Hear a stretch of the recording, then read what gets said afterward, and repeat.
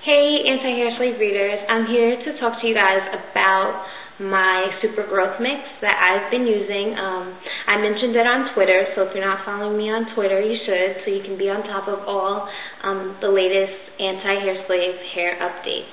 I'm at twitter.com backslash anti-hair slave.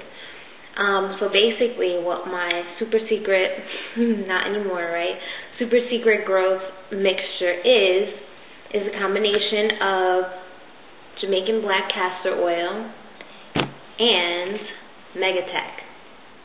Now, if you guys read the blog, you know that I have been trying to use Mega-Tek for, I don't know, since I got the bottle for like months now. And I just can't seem to use it on like an every other day, every three days basis. Like I just cannot make myself sit there and use it.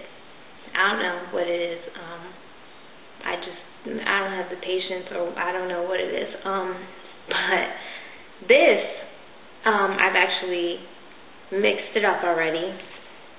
I'm using a jar. Um, it used to have Sabon bath oil in it, but I just like it because it's glass. So I use this jar and I mix probably about equal parts. See how runny it is? That's probably why I like it better. Um, equal parts of Mega-Tek and the um, Jamaican black castor oil. Mix it up good. Um, I like for the Mega-Tek to actually have like a little hint of brown. That's when I know I've gotten the two parts where I want them to be. And basically what I do is I just part my hair and apply it to my scalp. So just for I usually part from like ear to ear and just keep going from like start at the back and go to the front. But just for the video, I'll just show you one quick part how I'm applying it. So I part my hair and then I just put my finger in the mix and get a little bit. Then I take, I can't really see where my part is, um, but I take and I just dab along the part, and then I take my fingers and rub it in. And I think because it has um, the castor oil mixed in with the Mega-Tek, I can just do like that and it's in. As with the Mega-Tek by itself, I have to really like sit there and like make sure that it's really in my scalp because if not, it's white and it's kind of thick. It's like conditioner um, consistency. It'll just be sitting there. So with the castor oil, I think it makes it like, you know, sink in a little bit better. So hopefully I'll be able to actually stick with it. This after I do my whole head, then I like go ahead and I'll like massage it all in and make sure it's like all massaged in and do like a, a mini scalp massage. And then I'll take the Cocasta Shikakai oil from HairVeda and um, I'll just put like two or three drops, rub it in, starting at the ends, apply, work it all the way up, all the way up.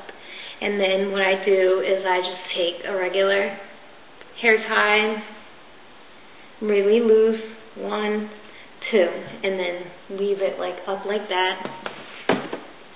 And then I take my pretty wrap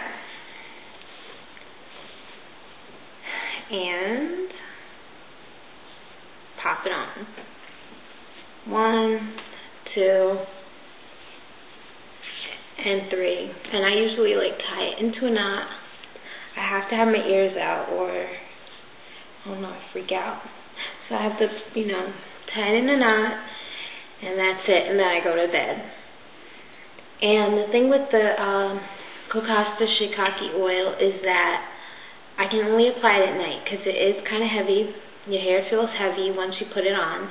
So I go ahead, I put it on, and then in the morning, all the heaviness is gone. All I'm left with is soft hair and uh, shine. So I really like the product. Um, but it definitely, like I said, is not for like in the morning, put a little more on. No. Your hair will be weighed down all day. So that's about it. Um, thanks for watching and stick around for updates. Alright, talk to you guys later. Thanks for watching again. Bye.